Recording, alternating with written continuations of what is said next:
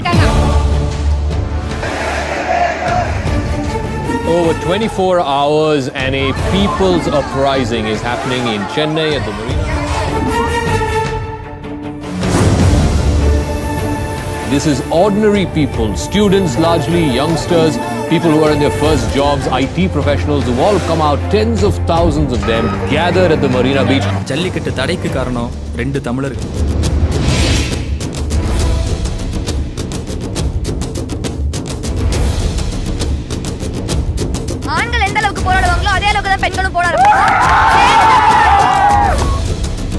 இந்த ஜல்லிக்கட்டு போராட்டத்தை கலவரத்துல தான் முடிக்கணுங்கிறத எப்படி செயல்படுத்துறாங்க?